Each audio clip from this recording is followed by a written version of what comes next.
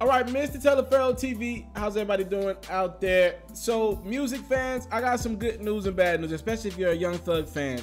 So, let's start out with the bad news. The bad news is we're probably gonna lose Young Thug to jail at some point in the near future. The good news is we're getting a project out of it in the in the in the meanwhile. So, Young Thug is likely heading to jail as an arrest warrant has been issued for Thugger Thugger. It was issued out on September 10th. Uh, Thug has been hit with a total of eight felonies. This happened last year in September when Thug was pulled over for having tinted windows. Law enforcement officials ended up finding out that Thug uh, had some meth in the car, some hydrocodone, some weed, Xanax, a gun.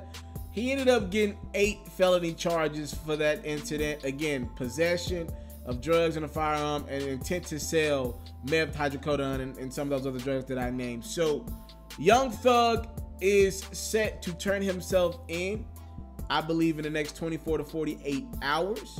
And it all makes sense because on Twitter, on a couple days ago, Young Thug randomly tweeted out, there's an album dropping in two days, right? And he said the name of it is On the Run, which would make sense if he's on the run in real life.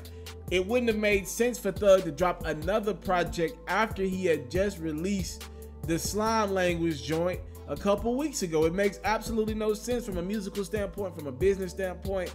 But it now makes sense if Thug's gonna go away for a minute and he's been working on new music and he wanted to deliver this new music to the fans and he now knows if he's either on like some heavy house arrest or maybe he's behind bars altogether. He now knows that it's probably time for him to expedite some of that new music because he won't be able to promote it and he won't be able to he probably be off social media to be honest with you for the foreseeable future because he's going to have to turn himself in soon and, and deal with some of these felony charges that are in front of him and to make this story even more interesting, Thug a few hours ago posted the track listing for this project, and I'm looking at the names of the song titles on this new project on the run, and one of them is called Prosecutor featuring Jaden Smith. It looks like he's got he's got Black on the project. The name of that record is called Co-Defendant. He's got Judge with Elton John. I'm really excited to hear how that sounds. And he's got DA, and I believe that says T-Shyne on it. So all the records are, I'm guessing this is like a small little EP here.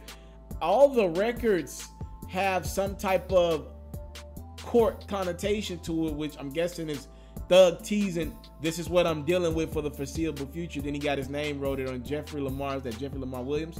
So again, Young Thug, I've been told that he's planning on turning himself in in the next 24 to 48 hours after the project released. The project's supposed to come out sometime today, September September 11th.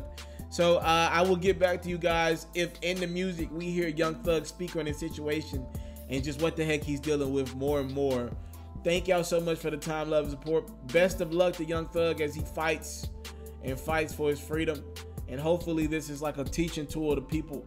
Uh, stop riding around with drugs in your car. And if you're riding around with illegal substances in your car, the illegal tinted windows method might not be the best route to take. Nevertheless, as a Thug fan, we get new music from him again. Second time in a month, we're getting new Thug music. I'm out. I came from nothing, but I want everything God has for me. I interview celebrities. I talk sports. I still represent the culture. I got the kids. They are now tuned in. Tuned in. Yeah, we locked in right now, Mr. Telefair. Mr. Taliaferro. Mr. Telefair. Mr. Telefair. Shout out to Mr. Telefair. You watching Mr. Telefair TV. Mr. Telefair TV.